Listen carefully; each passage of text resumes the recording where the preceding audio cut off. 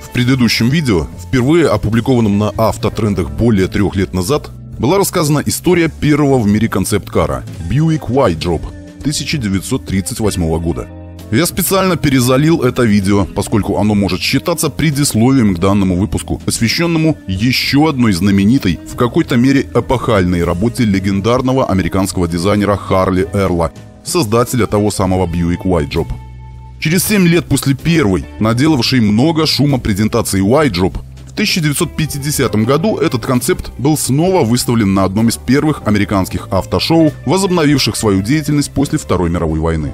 Однако эта машина, хотя и опередила свое время в 1938 к 50-му была уже достаточно стара, чтобы хоть как-то заинтересовать автомобильную публику. Харли Эрл сразу же почувствовал прохладное отношение к своему некогда инновационному и прорывному детищу. И уже к следующему, 51 году, дизайнер создал свой очередной, не менее инновационный шоу-кар, оказавший не менее серьезное влияние на развитие американской автоиндустрии, чем White Job.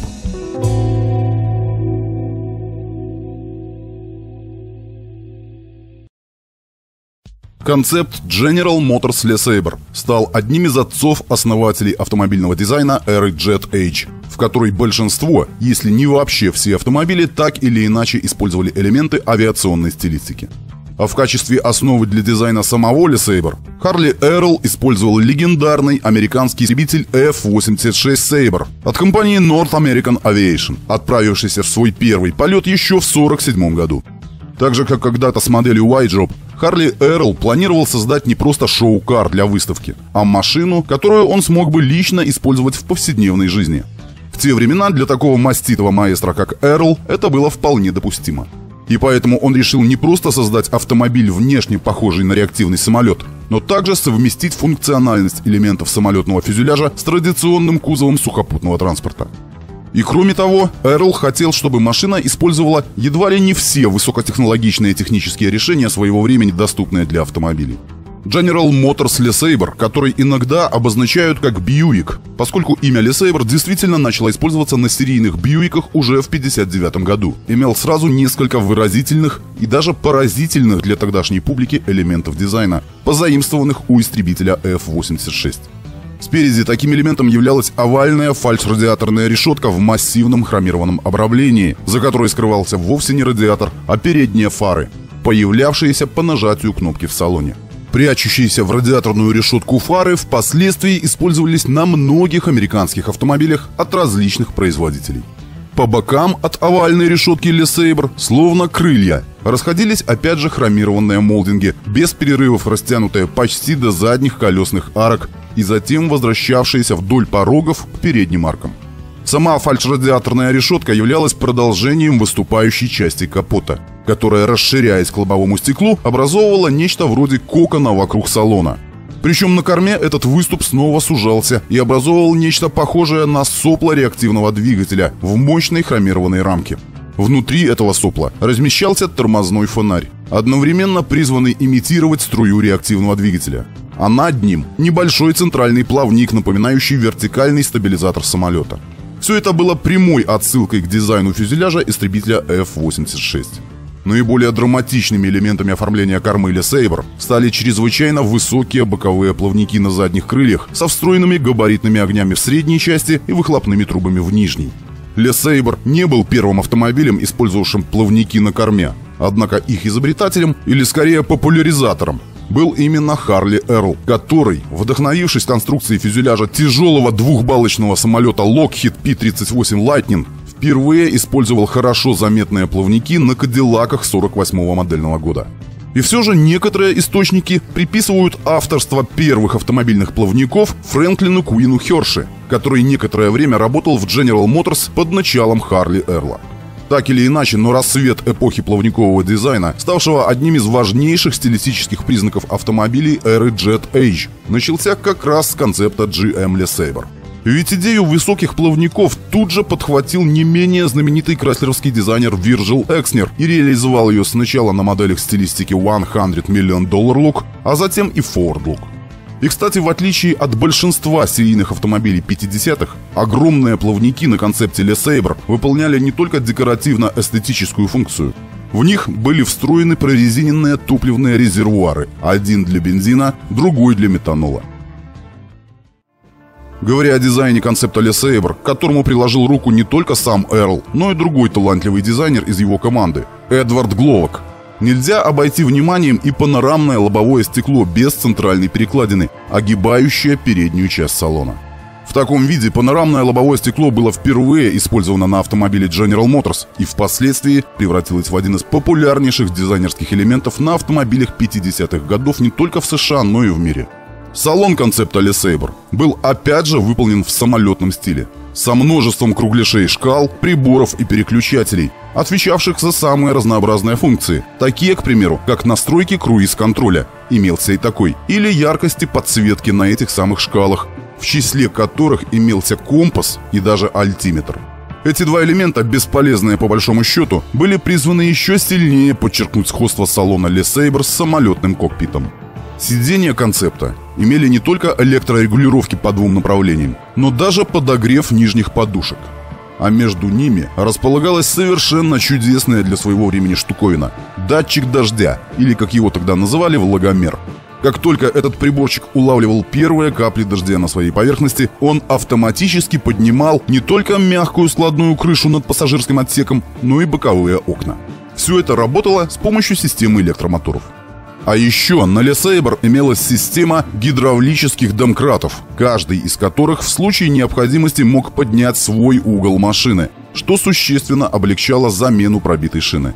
В общем, по части невиданных футуристичных технологий, концепту General Motors Le Sabre действительно было чем похвастаться и удивить самого искушенного автомобилиста. Даже сам кузов машины, покоившийся на стальной раме, был настоящим откровением для тех, кто хоть немного разбирался в технике. Его панели были выполнены из магния и алюминия, причем толщина некоторых магниевых элементов достигала 6 мм для усиления прочности конструкции. С этой же целью в некоторые панели были встроены стальные усилители, а пол машины имел сатовидную конструкцию. Лесейбр был достаточно крупным автомобилем – 510 см в длину и 195 см в ширину. Но высота концепта при этом составляла всего метр двадцать семь. Да и весил он, в том числе благодаря присутствию легковесных материалов в конструкции кузова, не так уж и много для середины прошлого века. Чуть больше 17 центнеров. За шасси и двигатель концепта Лесейбер отвечал джеймовский инженер Чарли Чейн. Он постарался на славу, чтобы машина была удивительной и инновационной не только с виду и благодаря разного рода высокотехнологичным фишечкам, но и во всем остальном – Именно Чейн принял непосредственное участие в разработке новейшего алюминиевого двигателя V8 объемом в 215 кубических дюймов или 3,5 литра с полусферическими камерами сгорания, который в 1951 году появился не только под капотом Le Sabre, но также нашел себе применение на шоу-каре Buick XP300, показанном в том же 1951 году. Двигатель оснащался компрессорным нагнетателем и уникальной топливной системой с двумя карбюраторами, один из которых использовал бензин, а второй – метанол. Переход на алкогольное топливо осуществлялся при резком нажатии на педаль газа. В результате пиковая мощность относительно небольшого по тем временам двигателя достигала 335 лошадиных сил, а крутящий момент составлял ни много ни мало 517 ньютон-метров. Согласитесь, очень даже неплохо для 51 года. В качестве трансмиссии использовалась автоматическая коробка Buick Dynaflow, которую впоследствии заменили на GM-овскую Hydromatic. При этом из-за технических соображений коробка передач была расположена в задней части кузова, что в результате положительно отразилось на распределении веса по осям. На заднем мосту использовалась достаточно стандартная для своего времени подвеска Dedion, а вот спереди не было ни пружин, ни рессор, ни даже торсионов. Их функции принял на себя мощный резиновый цилиндр, работа которого контролировалась двумя амортизаторами. Согласно имеющимся сведениям, эта необычная передняя подвеска вполне справлялась с возложенными на нее задачами. Однако резиновый цилиндр очень быстро растрескался и пришел в негодность. И в какой-то момент на Sabre была установлена традиционная торсионная передняя подвеска. Концепт General Motors Le Sabre не был запущен в производство, и, собственно говоря, он и не задумывался для запуска на конвейер. Однако он оказал самое серьезное влияние на дизайнерские тренды 50-х годов и сегодня считается одним из самых важных автомобильных концептов своего времени. Согласно некоторым сведениям, после того, как Ли Сейбер завершил триумфальное шествие по всевозможным выставкам и автошоу, Харли Эрл начал использовать его по прямому назначению и за несколько лет успел намотать на одометр около 45 тысяч миль, то есть более 70 тысяч километров. В настоящее время этот удивительный автомобиль размещается в музее наследия General Motors и периодически демонстрируется на автошоу. В завершении выпуска нельзя не рассказать о наиболее известных копиях, или скорее имитациях концепта Sabre, появившихся в большом количестве в разных странах через некоторое время после его премьеры. Так, в 1953 году два американских хот-родера потратили 4000 человека-часов на создание машины под названием Манта использовавшей шасси от Studebaker, кастомный стеклопластиковый кузов и кадиллаковский двигатель с коробкой Хадроматик. В 54-м французский кароссери Хенри Эскласан, строивший кастомные кузова для Ситроенов и Рено, представил свою версию Le Sabre на шасси французского автомобиля Salmson. Причем он построил сразу два экземпляра и назвал свое детище Salmson 2300 Sabre. Бельгийская частная автобусостроительная компания Van Hool построила вот такое чудо-юдо на базе школьного автобуса Dodge еще в 1952 году и вроде бы как использовала эту машину в рекламных целях. А этот автомобиль 54 года постройки называется Крамер Комет, поскольку его создателем был человек по имени Том Крамер из Огайо, в свое время заработавший прозвище «Король лошадиных сил».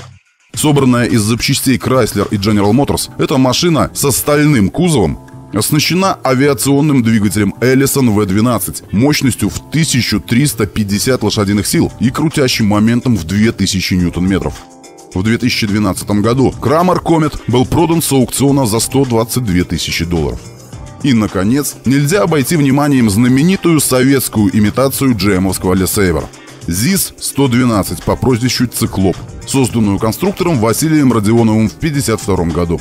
Машина длиной почти 6 метров и массой более 2,5 тонн приводилась в движение экспериментальным рядным восьмицилиндровым двигателем мощностью в 182 лошадиных силы, благодаря которым «Циклоп» мог разгоняться до скорости в 200 км в час.